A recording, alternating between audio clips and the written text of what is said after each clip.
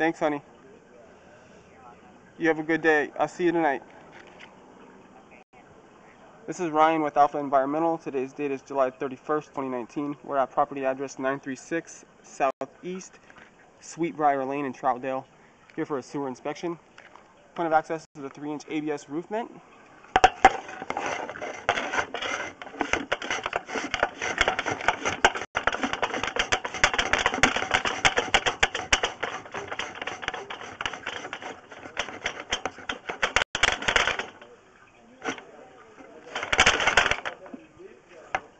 We're in the horizontal position. I'm going to zero out the foot meter and then continue with the inspection.